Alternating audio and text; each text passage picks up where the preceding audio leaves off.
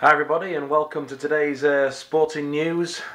Let's start with the cricket. Overnight, England got on to uh, 247 for 6. They still require 284 to win the game. Let's face it, it ain't going to happen. If Mitchell Johnson gets firing in the morning, um, then it could all be over well before lunchtime. You know, England, all they can do is pray for the biggest storm in the history of Adelaide. If it doesn't happen though, it's going to be over very quick. So 2-0 down, and who knows what's going to happen. It looks like a whitewash at the moment, the way England are playing. They just ain't good enough in every department. But we'll see. Um, more news from the boxing front. Darren Barker lost his IBF World title fight in Stuttgart last night. Second round stoppage.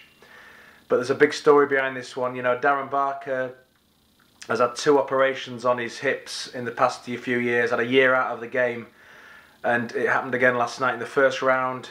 His hips are, they say, dislocated or in some kind of trouble. We'll find out more as the day goes on.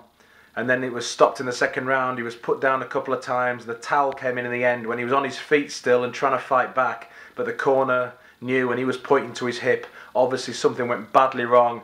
Look, on these situations, you just feel so sorry for the guy. I mean, you know, he's he's just got the title a few months ago and he's defending it the first defence and then this happens. It looks like it could all be over for Barker. It's very hard and I know from personal experience when you get serious injuries I had a very bad knee injury and there comes a point where you just can't come back anymore. You just have to say enough's enough because you don't know what's going to happen. And when, when you're sure when you're not sure what's going to happen in sport you just have to throw the towel in. So poor Darren Barker but you know he can say he's been world champion how many people can say that? Also, another big event happening today is the uh, European Cross Country Championships in uh, Belgrade in Serbia. Thought I'd give it a mention because you know cross country isn't always on on everyone's uh, lips. You know, football, cricket, other sports dominate, but athletics and cross country is a great event.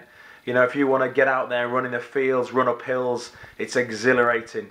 And uh, uh what's uh, Fionnuala Britton, the uh, Irish runner? She's got a chance of winning her third gold medal in the women's uh, cross European cross country race today. If she can pull off a triple gold medal, this is unbelievable, you know. So let's uh, cross our fingers and hope she does it.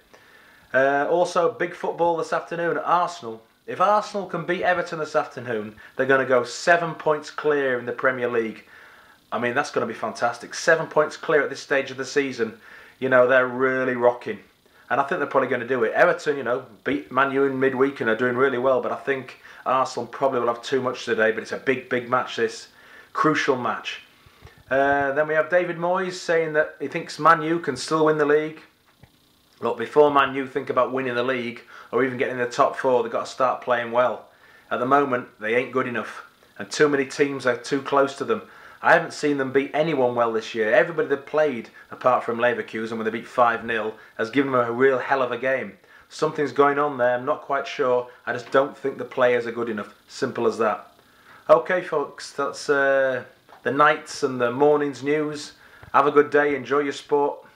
I'll say bye for now.